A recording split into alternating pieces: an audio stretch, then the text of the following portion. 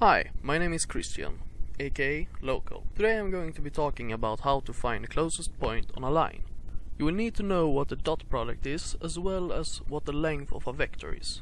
So let's get started. Here is a line. As you can see, the start and the end of the line has three numbers.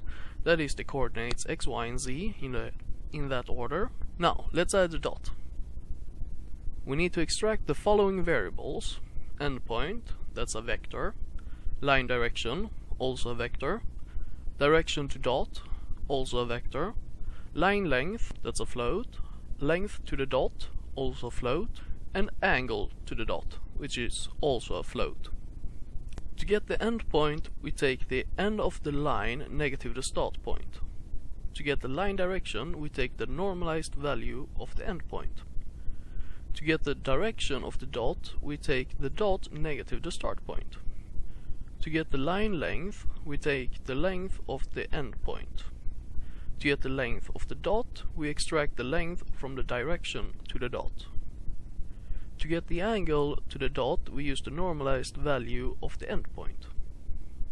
If the angle is less than or zero, then the start point is the closest point, because that means that the dot is in the opposite direction of the line. If the angle times the distance to the dot is greater than the line length, then that means that it is beyond the line. The end position is then the closest point.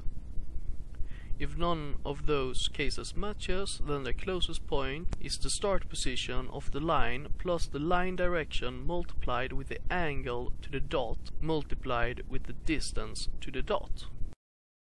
I also placed a code sample in the description below.